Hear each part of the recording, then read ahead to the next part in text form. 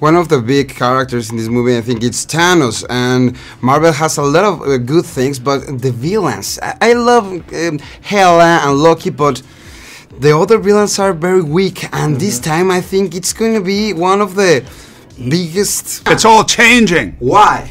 Why? Because this will be the grand villain that everybody will enjoy for many, many different reasons. I know that there's been talk about villains not living up to the expectations of the people or whatever, and uh, this may be different. I think that they focused a lot on Thanos in this in this Avengers. Yeah. Avengers three, Infinity War one, and uh, I think people will be pleased by it. Who have been maybe sorely disappointed in the past. Yeah, he's Damn. pretty impressive uh, villain. He's uh, very intense, uh, and uh, you know the uh, the heroes are only as good as the villain.